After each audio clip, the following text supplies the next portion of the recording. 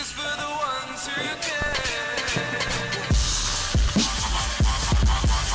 What's going on people, welcome back to another video. My name is Hugh Wizzy and you're watching 90 More back again after West Ham's Declan Rice gave the Hammers a 1-0 win against Arsenal at the London Stadium. There's quite a lot I want to get through today because the temperature is rising.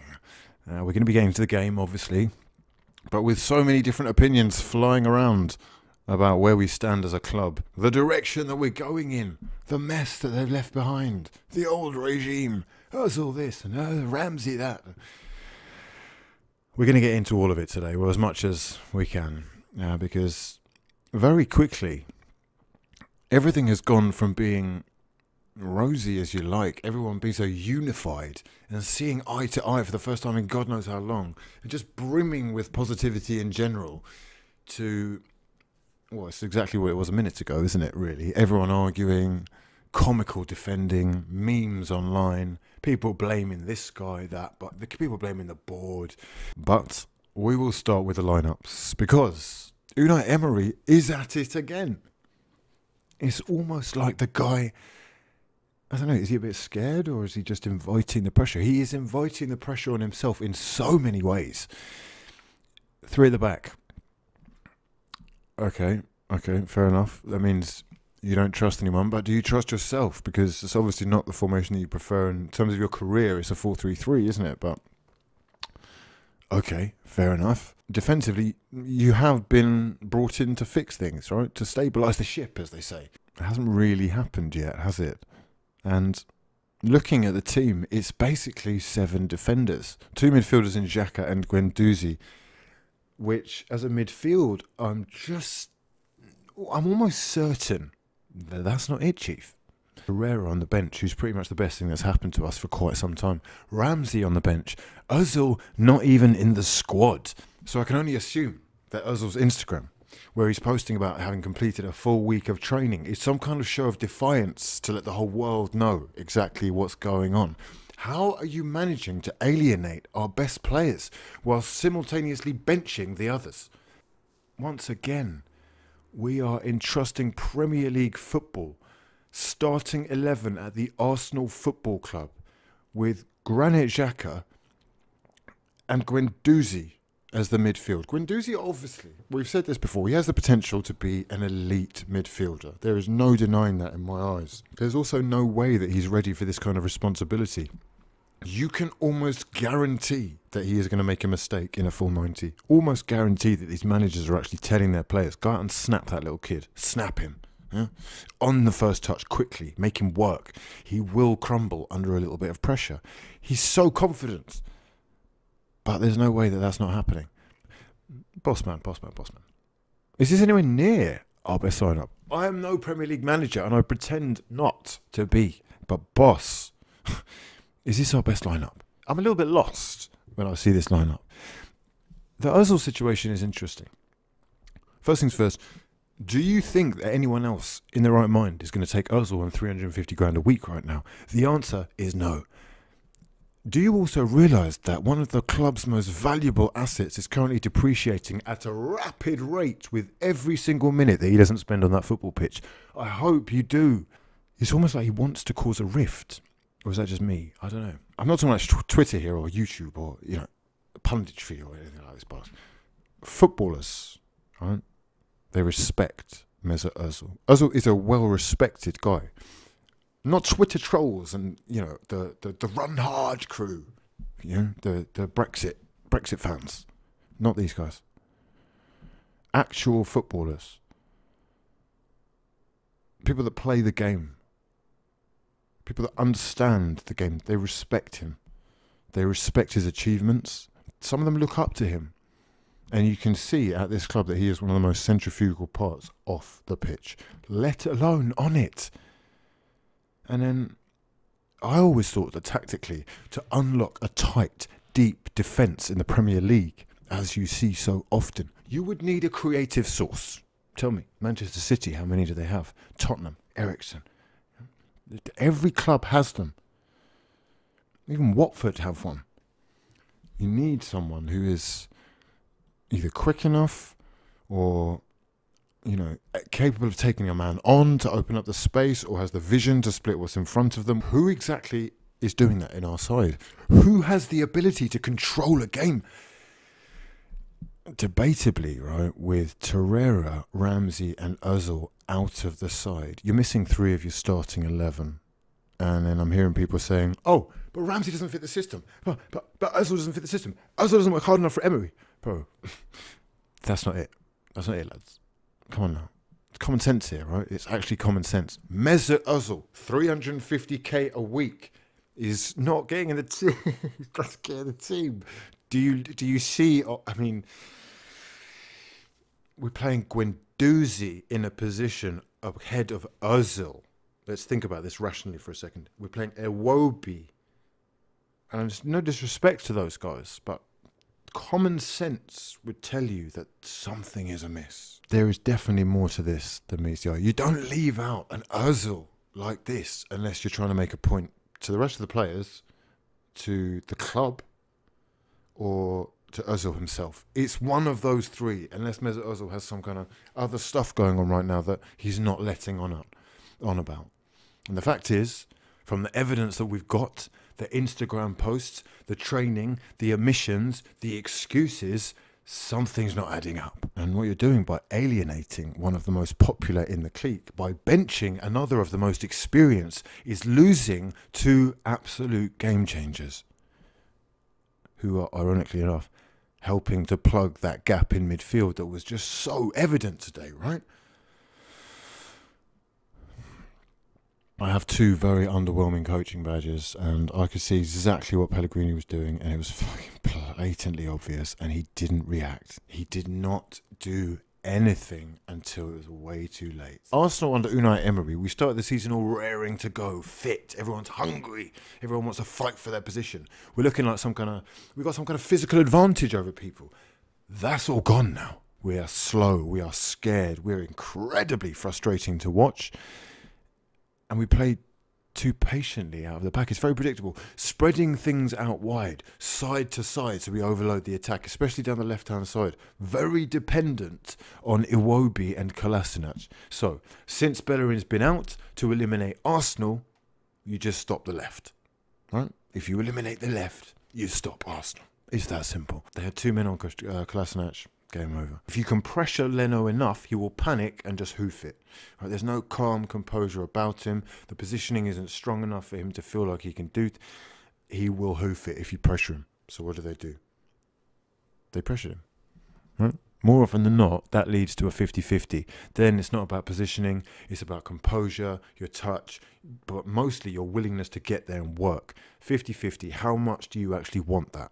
So, they pressure Leno, Rice is absolutely brilliant in the middle. He looks like a real prospect. Noble doing the crunching. You've got Diop, who looks like an absolute gem, and Felipe Anderson working out like an absolute dream. Wow. He walk into Arsenal. For Felipe, Diop, Nasri, they walk into Arsenal's first team. And if Guendouzi starts, surely Declan Rice does as well. That's four players out West Ham's 11 that would get into Arsenal's 11. What's going on here, mate? What's going on? I'm actually questioning whether I would take Fabianski over Leno as well. I'm not sure what's going on here. We've become cutback FC, predictable as you like. And that is not to take anything away from West Ham today. It's not. I'm just trying to touch on all the points and really question what I'm seeing here because we have no choice but to trust what Gazidis has left us with. And as the man ran away, I'm just slightly worried. I mean, Declan Rice, even. Like Guendouzi, we know he can be good, right? We know he can be. Anyone with a brain can see that. Very confident. But the audacity of turning up to Arsenal Football Club and thinking that you can get away with starting Guendouzi continuously. He is one of the most important players in our side, lads. That to me shows a little bit of naivety. He is a very snappable child, right? And you're putting him next to the liability that is Granit Xhaka without the protection of Torreira. It's a no from me. Sorry, it's a no. So it's been very interesting watching the reaction. And this is a blame game of some sorts, I guess, right? Someone always has to be at fault. And I know who I'm picking. I don't even know. There's so many people here. who are you picking? And on what basis? Because I will give praise where it's due. But when people said, we've got our Arsenal back, look at the work rate, look at the strength. Gas. You're actually gassed. Right? We, we got quite lucky. We had one recognisable pattern of play, and we strung together a few wins against mediocre teams like Qarabag and Brentford. Let's be realistic. For today, I'm sorry, I know it's a freebie season, but I have to look at Emery today and say, no, no, no, you got it wrong. No, you got it wrong. Both tactically and through team selection. You've had nearly eight months as well, right? I'm questioning how we look worse defensively than last season when you were brought in to stabilise that very thing. I love the way he came out in the press conference and said we can't afford basically to buy anyone. Um, but I also love the reaction to this. Like we haven't been going through this for the last God knows how many years. Like Emery is suddenly the the, the victim here. Um, have you just realised that we got no money, or did they lie to you when you got the gig? You know, I'm thinking about more direct things about this result, not reactionary, spur of the moment things that lead back to Kroenke.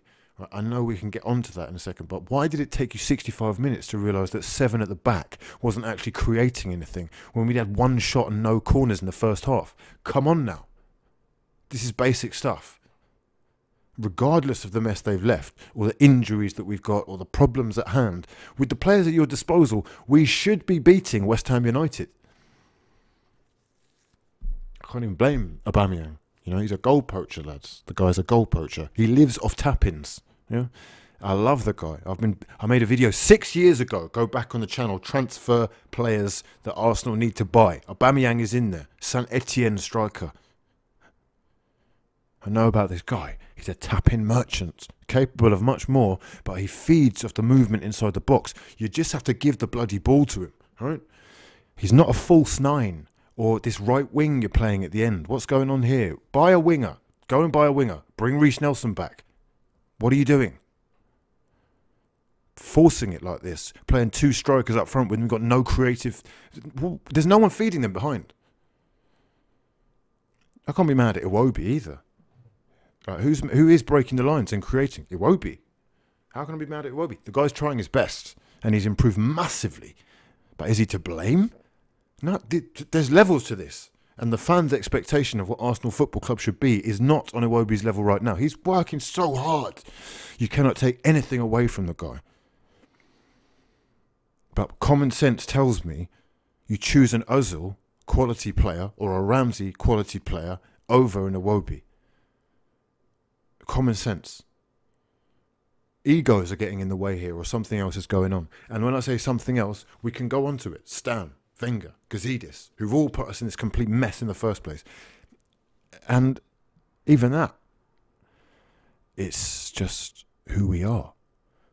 This is what we became when David Dein brought Stan Kroenke to Arsenal.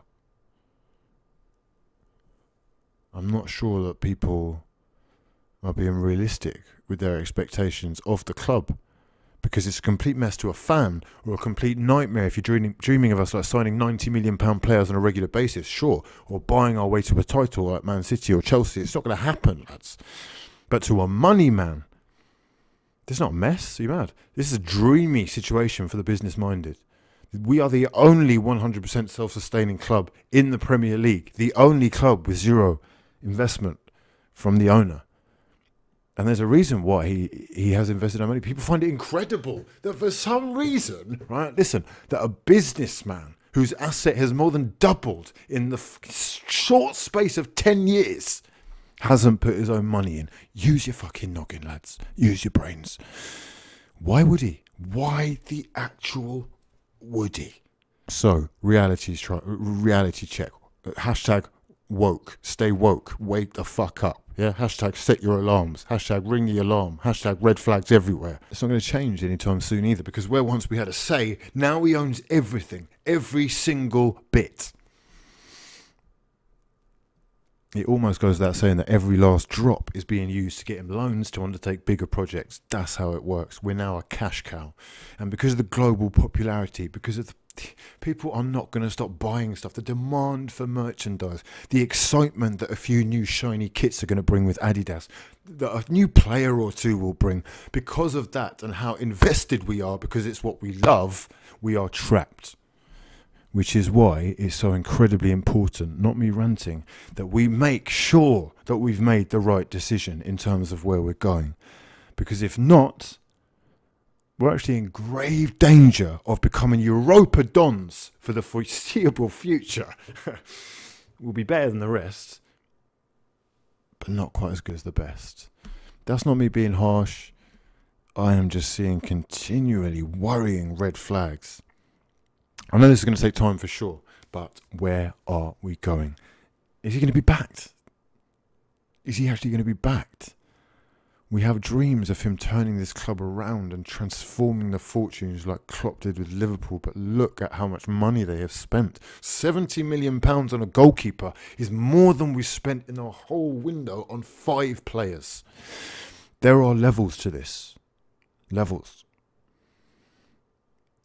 What level we're on, uh, I think we'll find out quite soon. And many people are convinced, have found out a long time ago.